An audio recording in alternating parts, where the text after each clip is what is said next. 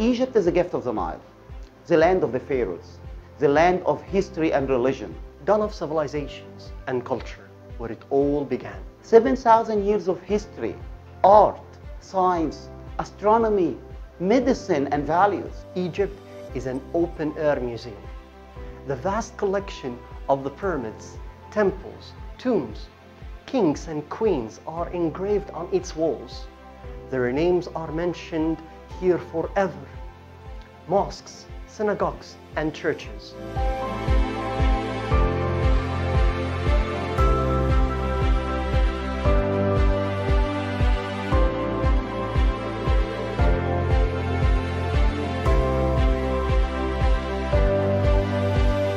Egypt witnessed the biblical events from the time of Abraham and Sarah, Jacob and Joseph, who saved Egypt from the famine, the baby Moses from a basket in the Nile to Mount Sinai, receiving the two tablets of the God's law. Thousands of years later, the baby Jesus and the Holy Family fled to Egypt, traveling all over Egypt for three and a half years. Its a mysterious history, full of love and passion, the land of wisdom, full of grace.